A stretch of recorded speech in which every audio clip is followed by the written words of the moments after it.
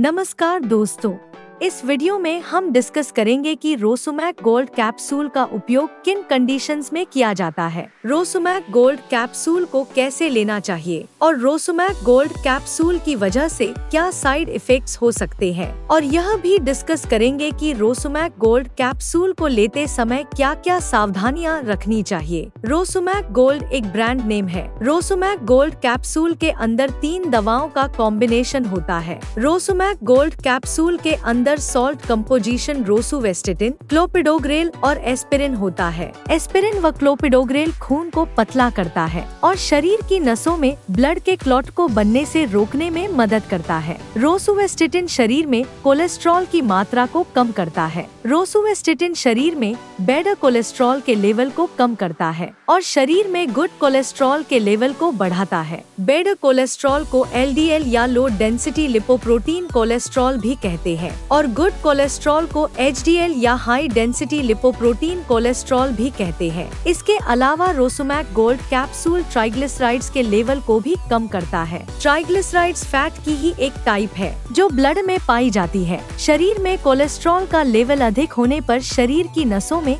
धीरे धीरे कोलेस्ट्रॉल जमा होने लगता है, जिसकी वजह से नसों में ब्लड का सर्कुलेशन कम होने लगता है। ब्लड का सर्कुलेशन कम होने की वजह से दिल का दौरा पड़ने का और लकवा लगने का जोखिम अधिक हो जाता है। रोसोमैक गोल्ड कैप्सूल शरीर में ब्लड को पतला रखता है। वह शरीर में कोलेस्ट्रॉल के लेवल को कम करता है, जिसकी वजह से दिल का दौरा पड़ने का और लकवा लगने का जोखिम कम हो जाता है। जिन व्यक्तियों को पहले कभी दिल का दौरा पड़ चुका है या लकवा लग चुका है ऐसे व्यक्तियों में दिल का दौरा पड़ने का और लकवा लगने के जोखिम को कम करने के लिए भी डॉक्टर रोसुमैक गोल्ड कैप्सूल को लेने की सलाह दे सकता है दोस्तों, अगर आपको वीडियो पसंद आ रहा है तो कृपया वीडियो को लाइक करना व चैनल को सब्सक्राइब करना न भूलें। साइड इफेक्ट्स की बात करें तो वैसे तो ज़्यादातर व्यक्तियों में रोसोमैक गोल्ड कैप्सूल की वजह से कोई साइड इफेक्ट्स नहीं होते हैं, लेकिन कुछ परसेंट व्यक्तियों में रोसुमैक गोल्ड कैप्सूल की वजह से कुछ साइड इफेक्ट्स हो सकते हैं,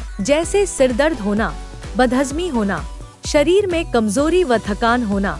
नाक से खून आना, पेट से गैस निकलना, कब्ज होना और कुछ व्यक्तियों में दस्त होने की समस्या भी हो सकती है। रोसुमैक गोल्ड कैप्सूल की वजह से ब्लड शुगर लेवल अधिक हो सकता है। रोसुमैक गोल्ड कैप्सूल की वजह से कोई चोट लगने के बाद ब्लीडिंग होने का जोखिम अधिक हो जाता है। अगर आप रोसुमैक गोल्ड कैप्सूल को ले रहे हैं और आपको अगर ज़्यादा चोट लग गई है तो आपको तुरंत ही नजदीकी हॉस्पिटल में जाना चाहिए, ताकि अधिक ब्लीडिंग होने के जोखिम को कम किया जा सके। कुछ व्यक्तियों में रोसोमैक गोल्ड कैप्सूल की वजह से लिवर डैमेज भी हो सकता है। यदि किसी व्यक्ति को रोसोमैक गोल्ड कैप्सूल को लेते समय आँखों या त्वचा में पीलापन होना, भूख कम लगना, पेट में दर्द होना उल्टी आना या उल्टी आने का मन होना आदि साइड इफेक्ट्स होते हैं। तो ऐसे व्यक्तियों को तुरंत ही डॉक्टर से परामर्श लेना चाहिए, क्योंकि ये लक्षण लिवर डैमेज होने पर हो सकते हैं। इसके अलावा रोसुमैक गोल्ड कैप्सूल की वजह से शरीर की मांसपेशियों में दर्द, जोड़ों में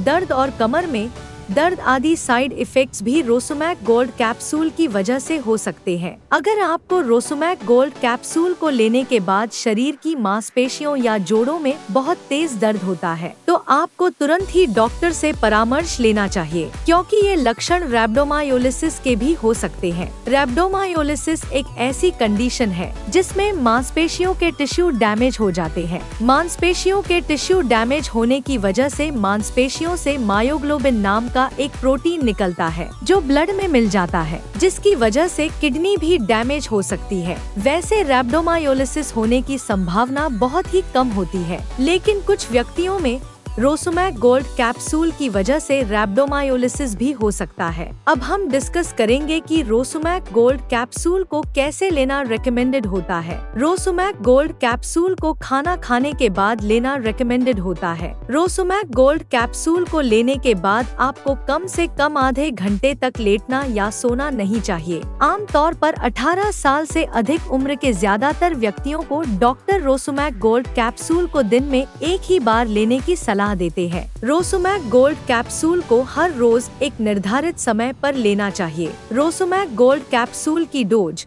उम्र शरीर के वज़न और बीमारी की गंभीरता के आधार पर कुछ व्यक्तियों में इससे अलग भी हो सकती है। इसलिए आपको रोसुमैक गोल्ड कैप्सूल को आपके डॉक्टर द्वारा बताई गई डोज में ही लेना चाहिए। अब हम डिस्कस करेंगे कि रोसोमैक गोल्ड कैप्सूल को लेते समय क्या क्या सावधानियाँ रखनी चाहिए। अगर किसी व्यक्ति की कोई सर्जरी होने वाली है या दांत निकलवाना है तो ऐसी स्थिति में डॉक्टर सर्जरी करने से या दांत निकालने से एक से लेकर दो सप्ताह पहले रोसोमैक गोल्ड कैप्सूल को बंद करने की सलाह दे सकता है। इसलिए यदि आपकी सर्जरी होने वाली है या आपको दांत निकलवाना है तो आपको रोसोमैक गोल्ड कैप्सूल के बारे में डॉक्टर को बताना चाहिए, क्योंकि रोसोमैक गोल्ड कैप्सूल खून को पतला करता है, जिसकी वजह से ब्लीडिंग होने का जोखिम अधिक हो जाता है। पेट में गैस और एसिडिटी को कम करने के लिए उपयोग की जाने वाली प्रोटॉन पंप इनहिबिटर्स दवाइयाँ जैसे इसोमेप्राजोल